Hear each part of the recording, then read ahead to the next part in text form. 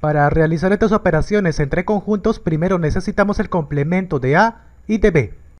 El complemento del conjunto A está formado por todos los elementos del conjunto universal excepto los que aparecen acá en el conjunto A. O sea, este 5, 6, 7, 8 los borramos de acá. 5, 6, 7, 8. Y los que quedan, copiamos acá. ¿Quiénes quedaron?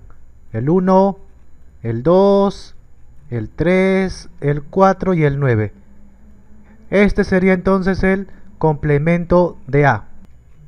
El complemento del conjunto B está formado por todos los elementos del conjunto universal excepto los que están en B, o sea, este 6, 7, 1 y 2 los borramos. Se va el 6, el 7, el 1 y el 2. Y los que quedan vienen acá. ¿Quién quedó? El 3, el 4, el 5, el 8 y el 9. Este sería el complemento del conjunto B.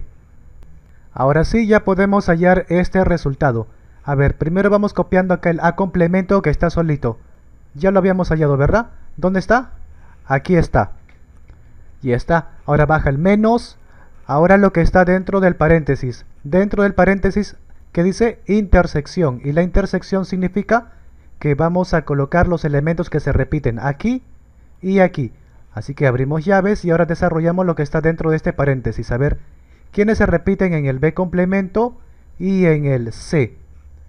¿Quién se repite? El 4 se repite, ¿verdad? El 5 y el 9.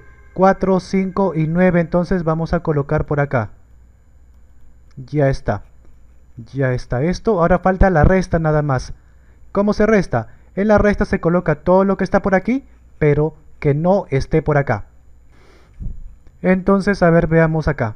Este número 1 ¿Estará por aquí? No está, ¿verdad? Entonces vamos colocando al 1 porque no está ahí. El 2 tampoco está, allá, también lo colocamos. El 3 tampoco está. El 4, ah, el 4 sí está acá, entonces no lo colocamos. El 9 también está, entonces tampoco lo colocamos y listo. Este sería el resultado final. No olvides comentarme lo primero que se te venga a la mente.